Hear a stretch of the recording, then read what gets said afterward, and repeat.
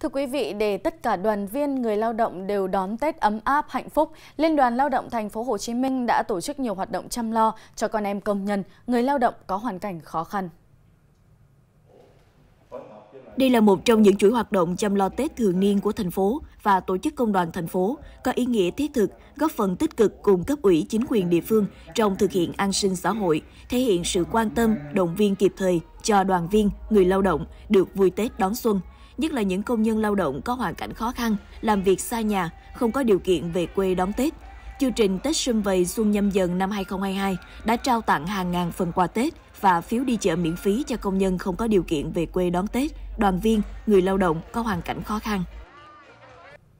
Tỉnh Hà Nam hiện có đoàn trên 77.000 đoàn viên công đoàn đang sinh hoạt tại tổ chức công đoàn trong các doanh nghiệp. Để chăm lo cho công nhân người lao động có hoàn cảnh khó khăn trong dịp Tết, bảo đảm mọi người đều có Tết, thì những ngày này, Liên đoàn Lao động tỉnh Hà Nam vận động sự ủng hộ của các ngành, các đơn vị cá nhân chuẩn bị hàng nghìn xuất quà, những chuyến xe và cả tấm vé xe đầy nghĩa tình gửi tới người lao động.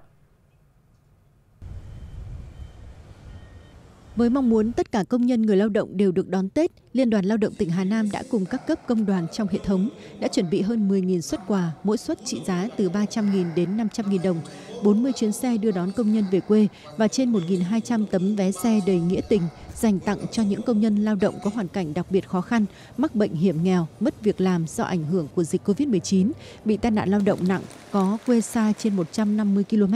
đồng thời dành những tình cảm và phần quà đặc biệt quan tâm tới các công nhân lao động phải ở trong các khu cách ly phong tỏa mắc COVID-19 đang điều trị tại nhà hoặc các cơ sở y tế, đoàn viên người lao động không có điều kiện về quê đón Tết.